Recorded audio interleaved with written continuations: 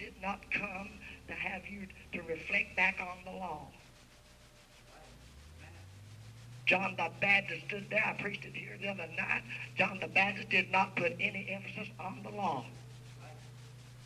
There's one coming after me who's mightier than I. Now, behold the Lamb of God.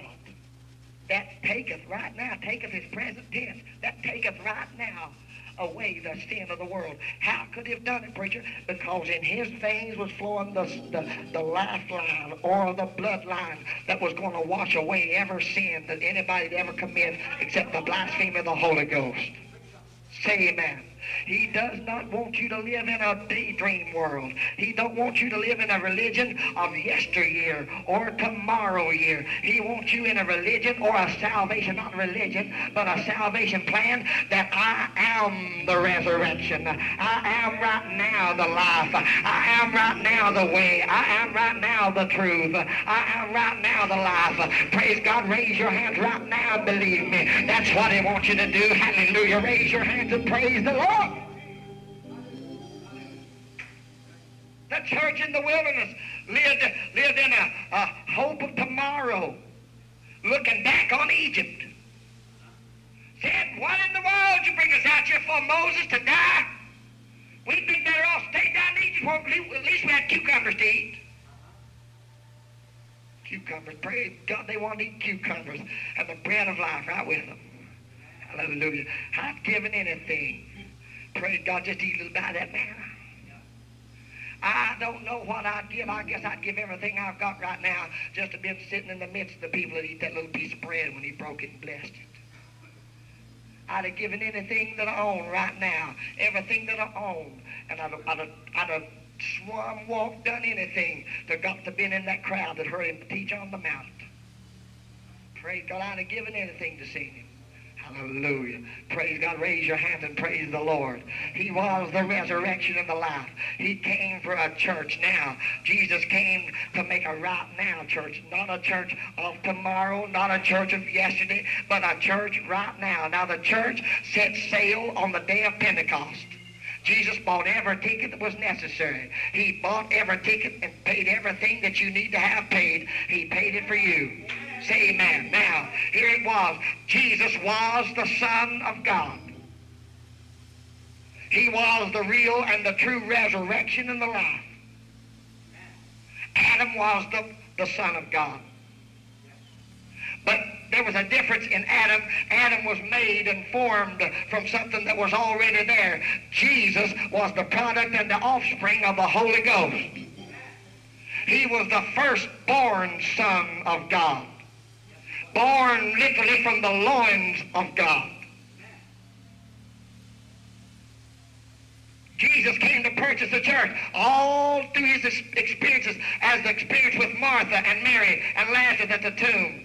Every experience that he had was, was bringing more light to his reality and his being and his presence right now, not tomorrow, right now, bringing a church together.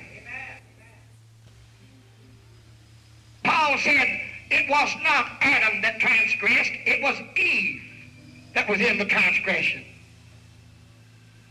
God made a man right down on his, no, no doubt, right on his hands and knees, God went. And ladies and gentlemen, whether you'll understand this or not, it was Jesus that did it. If the Word of God is true, listen to me and understand that the Scripture is right.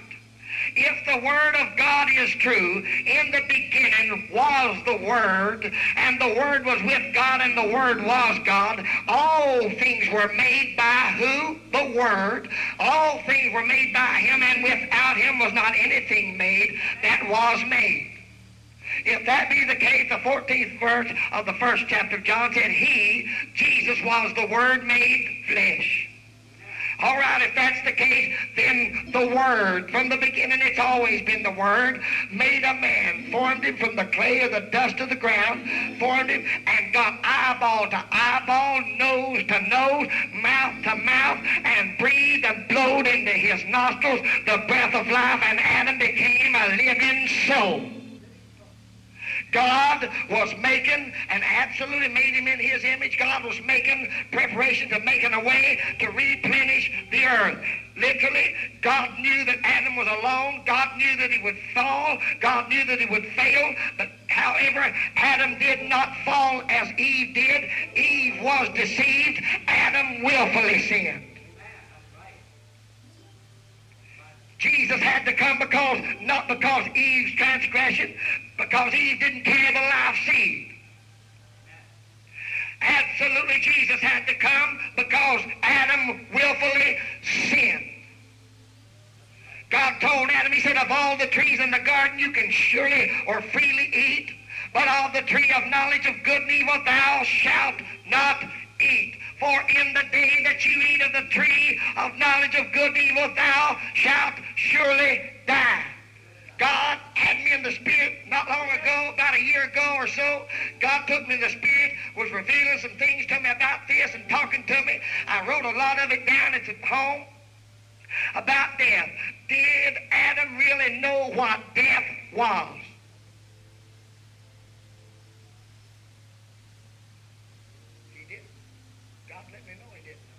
He was a life. He was a life giver. He was, he was, or, or not a life giver, but a receiver of life from the life giver.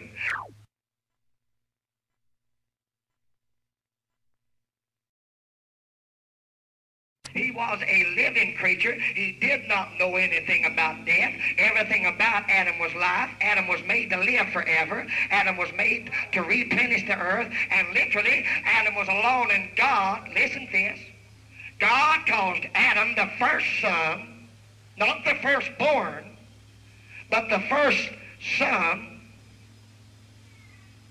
Oh Lord. God literally put him into a deep sleep. I don't know how long he stayed in that sleep. Opened his side and took a rib out. When God opened that side, listen, when God blowed into Adam's nostrils the breath of life, God told Moses a great secret. He said the life of all flesh is in the blood. When Adam was received of, of, of God's breath and God blowed his breath into Adam's lungs and his nostrils, and Adam's lungs received God's breath, then somewhere in his very being, the bloodstream started circulating and the life was put in the bloodstream. Life of all flesh is in the blood. When this happened, Adam was alone. Now, I want you to know that Adam was, can I preach about, a, about two hours tonight? Adam was not an idiot. God made Adam on the same level and on the same basis of his own image and gave Adam a, a, mind that was only second to God himself. Adam was no idiot. He was so smart that when God was, was forming the animals from the dust of the ground, he brought every one of them to Adam and let Adam name them all. And I read somewhere where there's over 500,000 different species of animals. Mister, it takes a genius to name that many animals. But there wasn't a helpmeet for Adam, made in the image of God, made in the likeness of, of God's image, given the very breath of God, made a living creature never to die, except he choose. Oh, praise God. God caused him to fall into a great sleep. And when God had put this life in Adam, it put the life cell in Adam's loins right then. In the loins of Adam, he carried every child that would ever come forth from a woman's womb. Right then. Where did it come from? It came from God. It came right out of the innermost being of God's heart. It came from God. Adam was there in a deep sleep when God cut his side and opened the flesh in his side and took the rib out, there had to be some bloodshed. Eve did not get her life directly from God. Nowhere does it say God breathed into her nostrils. Eve, the, which was likened to the church, got her life from her husband. Woo, Lord, I wish somebody could understand what I'm getting to. Paul said, I speak a great mystery concerning Christ and the church. Right down into his side he went. He took the rib. Uh, some uh, uh, doctors, medical doctors say that God took the rib that was closest to the heart. I don't know how true that is.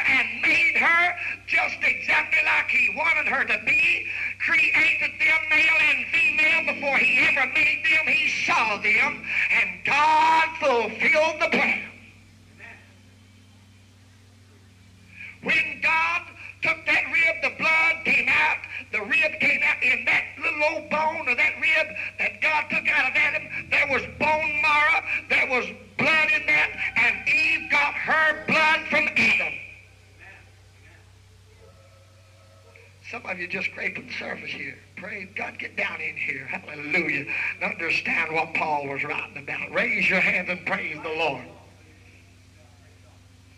Adam came out of his sleep. God brought the woman to Adam. God had already spoken to Adam and said, You can eat of every tree in the garden, but of the tree of knowledge of good and evil, thou shalt not eat. Eve didn't hear it. If Eve knew about it, Adam had to tell her. I believe Adam told her too.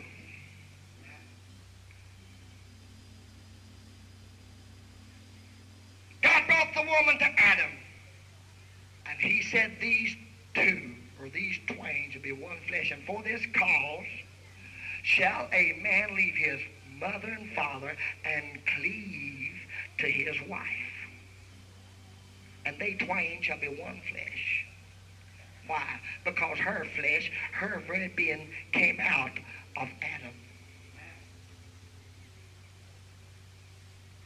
Lo and behold, the devil had to have some way to get sin into the world.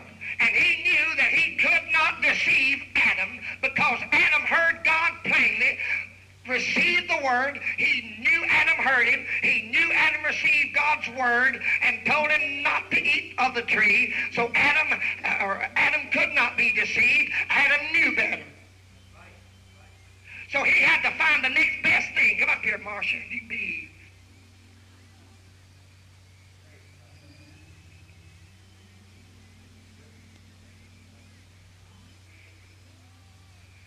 You'll need this message in the next 42 months more than you need the food you'll eat the next 40 days. So help me, I speak the truth. Eve was Adam's wife and he loved her. He had to love her with a godly love because, ladies and gentlemen, in him was God's life.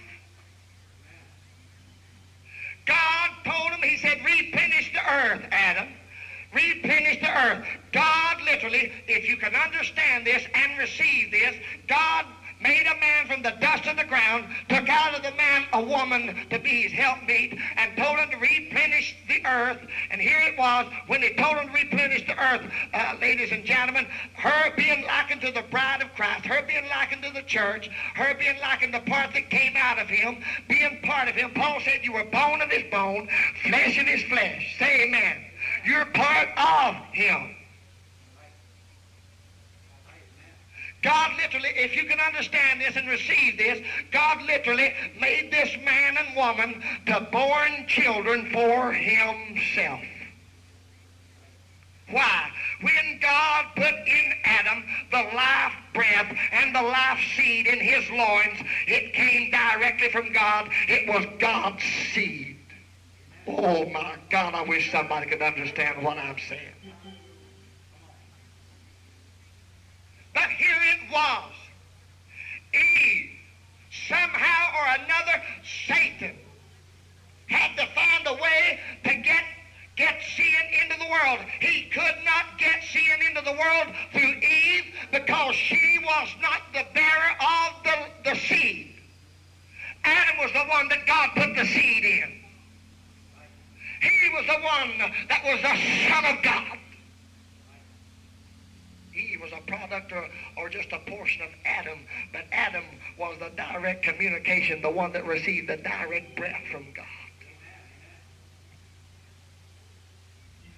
The devil had to do something to get to Adam. He could not make Adam. If he'd have went to Adam and told Adam what he did, Eve, like I'm looking at you, Adam would have laughed at him and said, I've got a life to live. I can live forever. But God, God made Adam to live forever. I, that's another message. I'd have to preach another hour. But here it is. The devil had to have some way to get to uh, Adam. And the only way he knew that he could get to Adam was to get to the very thing he loved the most. God said the first and great commandment was to love the Lord thy God with all your soul, strength, mind, body, everything you have, and then to love your neighbors, you love yourself. God, this thing's crawling all over me. Raise your hands and praise the Lord. Eve, the property of Adam, the helpmeet of the first son, now, I know Jesus was the only begotten Son of the Father. Jesus was the firstborn of the Father. Adam was made from the dust of the ground. And ladies and gentlemen, at that time, the dust of the ground was pure. It was not cursed by the Word of God. It wasn't anything. Adam was an unsinful creature a living creature, no death anywhere. The only death was in Satan. If the life of God, if the nature of God is life, then the nature of the devil is death. If the nature of God is righteousness, the nature of the devil is sin, unrighteousness. Say amen. Eve was the only means the only only doorknob that he that the devil could find to open the door to get to Adam. And the devil tricked Eve. It was her that was deceived, not Adam. It was Eve that was deceived in, in transgression. And when she took of the forbidden fruit, I don't know whether it was a peach, a plum, a pear, an apple. Nobody really knows what it is. That's right. You'll hear many preachers preach many things. Some say this, some say that. Nobody knows God has kept it hidden, and it'll be hidden in my knowledge till that day we understand. There's some things God don't want you to know. There's some things, if you knew, you'd think God was unrighteous. And he is not unrighteous. He even hates with a righteous hatred. How could we understand this? Who among us tonight could comprehend the mind of God?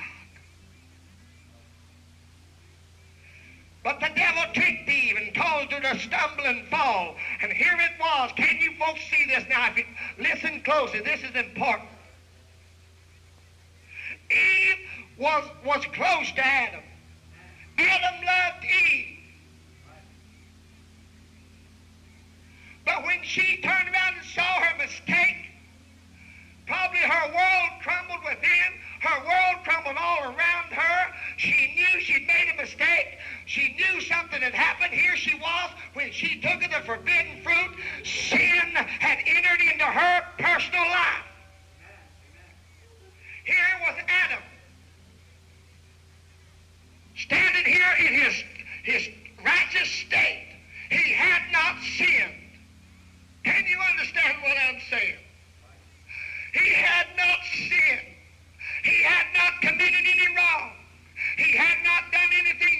to God's word as yet. He had not done anything wrong, and now here was Eve with that fruit. Here was Eve, whatever it was, offered to Adam. Here she was, his bride. Here she was, his wife. Here she was, the one he loved. She'd already sinned, and there was no way in the world that she could get back to him. He was righteous, and she was sin. Can you see what I'm saying? So was the church. So were you alienated from God. There was no way that you could get back to his standards. There was no way you could get back to Jesus. So he had to come down in the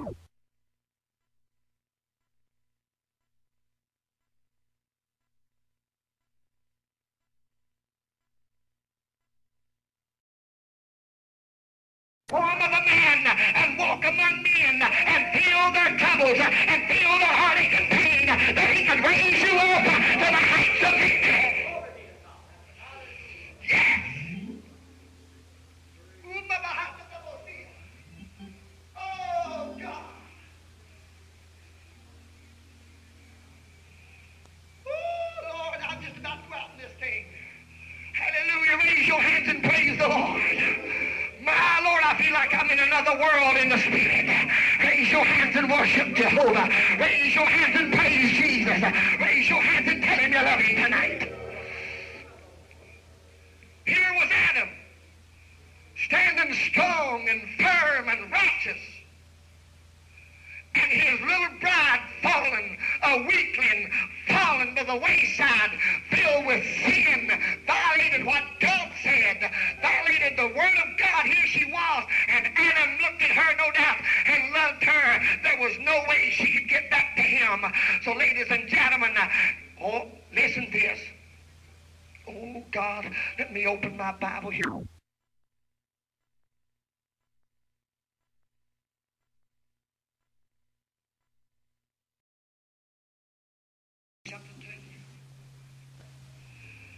Was no way in the world, no way in the world that she could come back to Adam. No way in the world she could find that place to get back to him. He was righteous. Some of you not listening. You're going to miss something. This is something you chew on for a month. This is the message I cried myself to sleep the other night when God kept me up all night almost. Hallelujah. Read you here to me.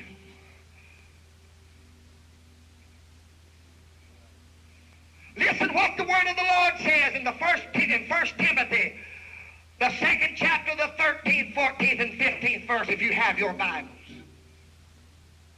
Listen what God said. Listen what the word said.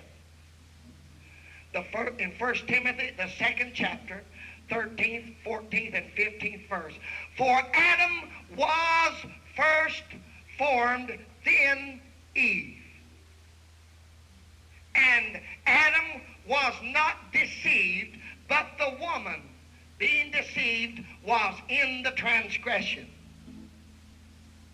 Notwithstanding, here's the point I'm coming to now, and take heed and listen closely. Notwithstanding, she, Eve, she shall be saved in childbearing. Now, there was only one way that Eve could get back to her husband. There was only one way that Adam could get down to his wife. In the loins of Adam, right then and there, was the life seed. And ladies and gentlemen, Jesus himself was going to come from the lineage of David. There was no way that she could come back to him without a Savior, and that Savior was in the loins of Adam.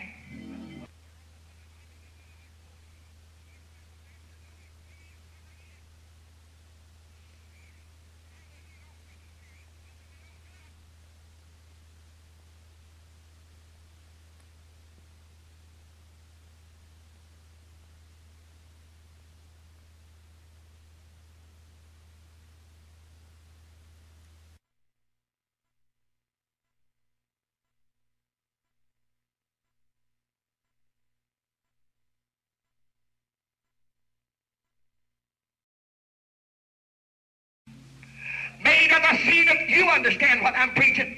Oh God, I'm just about in another world. There was no way in the world. Here it was. It was a willing sacrifice. Adam could get, if Adam Adam went down to her, if Adam went down to her level, he could bring her back in the future.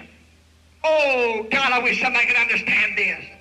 If Adam, there was no way she could get back. Why? Because there was no substitute there. There was no sacrifice. God had to have a sacrifice. It wasn't Isaac. It wasn't Abel. It wasn't Adam. It was in the loins of Adam. It was not the Messiah. It was Jesus. How can this be, Brother West? According to the flesh, he was made after the seed of David. But according to the Spirit, after the fullness of the Godhead bodily. Say amen. Ooh, praise God. Some of y'all to run out here. Some of y'all have enough power to leave here tonight. Stick your tongue out the devil. Hallelujah. And box his jaws. Run him plumb out of your house when you get home. Raise your hands and worship the Lord. So Adam saw this. He loved his bride. He loved, can you see this? Jesus was not sinful flesh. Adam was a type of the son that was coming. Just a type. An eternal son that was coming. Adam looked at his bride and loved her. Jesus looked at his church and loved it. His church was fallen in sin and filth and corruption. Nobody could bring her back. Moses couldn't do it. Elijah couldn't do it. David couldn't do it. Nobody had the power to do it but he himself. And so he took upon himself the form of a man. And for the first time, when God would stand outside of this tabernacle we're in now, he'd get in a bush and talk with Moses. He would inform them of what he wanted them to do. When he would be inside of the cloud speaking, telling the people, thou shalt not kill, thou shalt not steal, so forth and so on. In, in, I've preached this, I touched on this before. God was among his people, but in different forms. When he came to Abraham and told Abraham in the form of a man that he was going to destroy Sodom and Gomorrah. All of these things. For the first time now, God was inside of a man, looking out of the same eyes of eternity, hearing through the same ears of eternity. Oh, God, I wish somebody could understand this. Hallelujah. The same voice that came walking in the garden in the cool of the day was speaking along the shores of Galilee, raising the dead and healing the sick. Oh, praise God. Raise your hands and praise the Lord. That was him. Adam couldn't, Eve couldn't get back to Adam. There was no way in the world. Oh, how rich this is if you'll get it. There was no way in the world for, for Eve to come back to Adam. He had to come down to her level.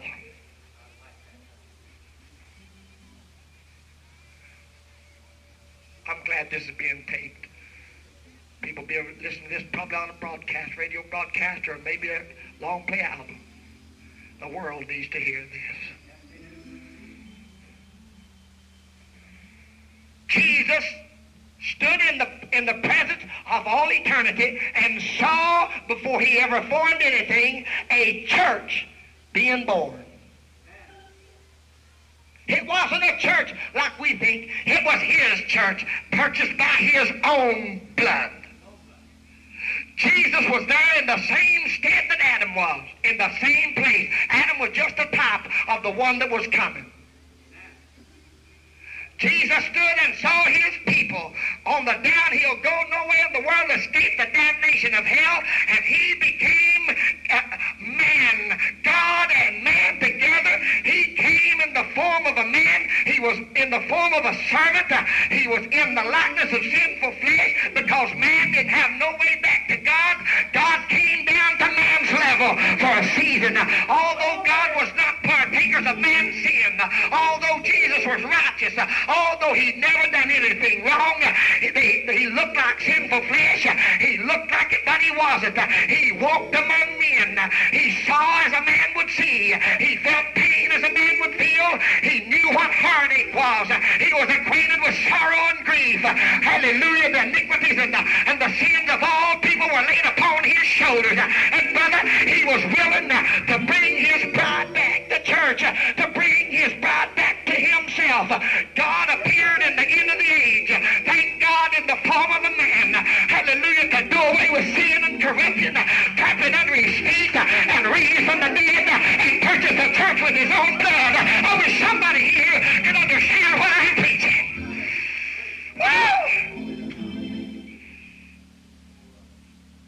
Not willing to let his church go to hell.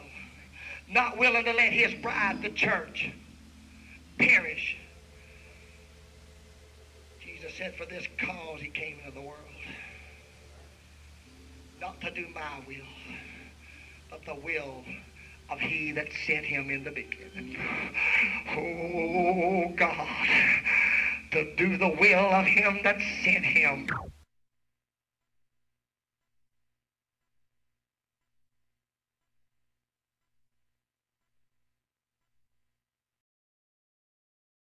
Praise God. Hallelujah. Raise your hand and say, Thank you, Jesus, for what you've done. Not willing to let the devil have any more control over his, his beautiful bride. He came to make a way to dress her in white. He came to make a way for her to walk back up back up the aisle again. Praise God in holy matrimony. He came to make a way for her to come back to his side and be part of him. He came to make a way for her to be his all over again. She was destined and doomed for hell. Sin, I feel that anointing now. Sin had crept into the church's life. You were going to hell. Everybody listening to my voice was on the road to hell. You were a part of the bride, but you're gone now. But Jesus said, whosoever will, let let them come and drink of the water of life freely. Here it is.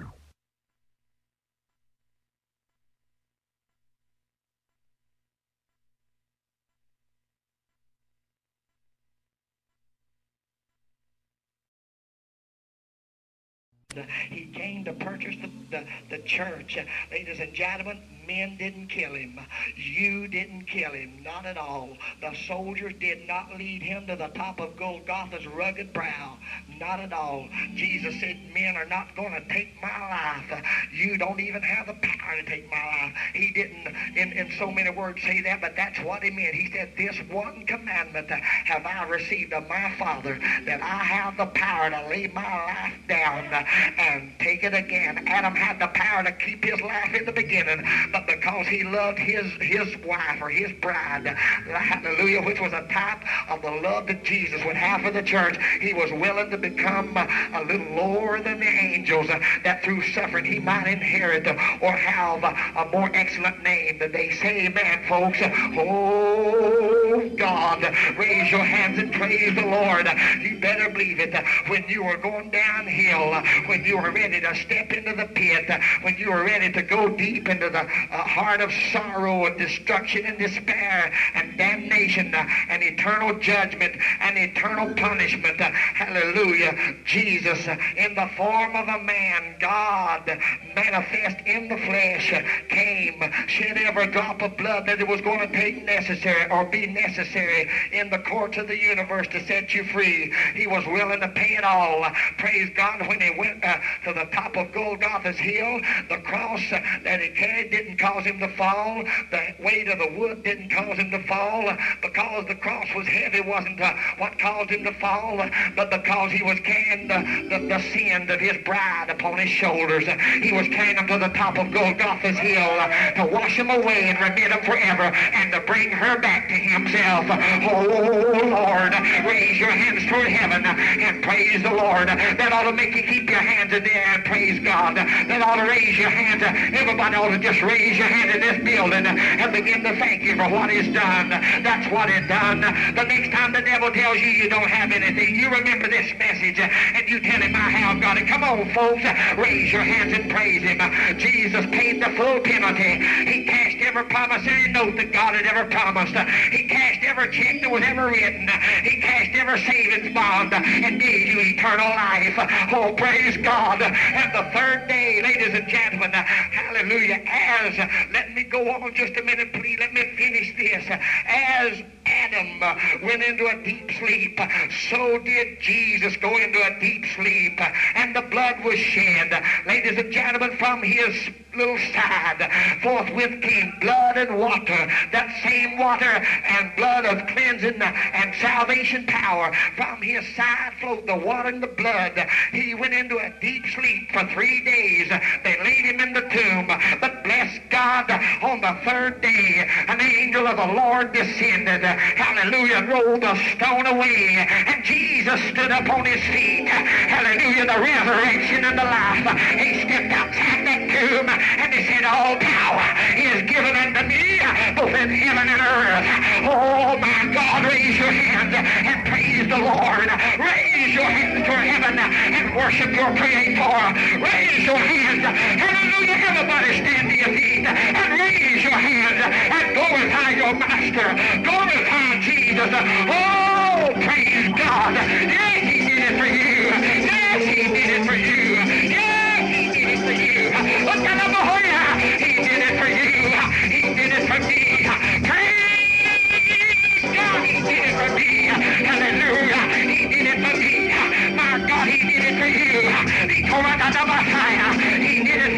Person whosoever will. Thank God. He come to take a church. He come to take a bride. Hallelujah. Out of a people.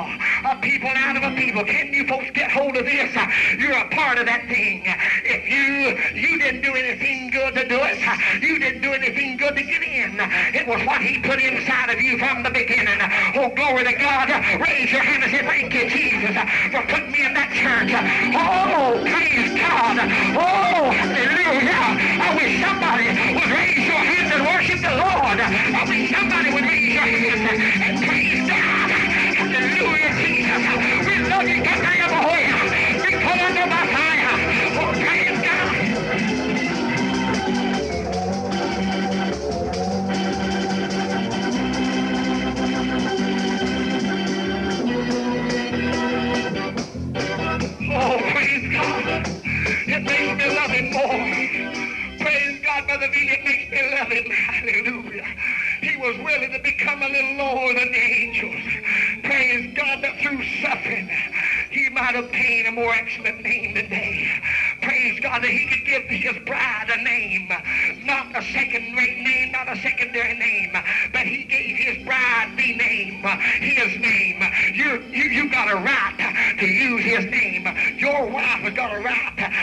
your name. You've got a right